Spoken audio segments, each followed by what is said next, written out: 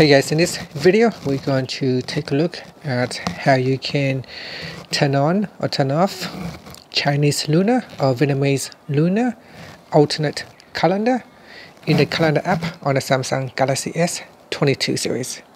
First let's go back to the home screen by tapping on the home button at the bottom of the screen. Then swipe up to go into the app screen and tap on the calendar app. Next tap on the menu key at the top from the pop-out menu, tap on the settings icon. Next, we go down and tap on alternate calendar. And in here you can choose Chinese lunar or Vietnamese lunar.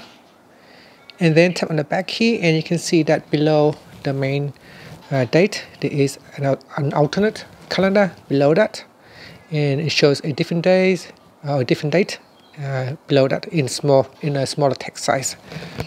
And if you want to switch them off you can go back into settings. And we go down to alternate calendar and then tap on none and then go back.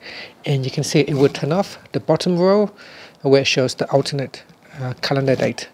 And that's it. Thank you for watching this video. Please subscribe to my channel for more videos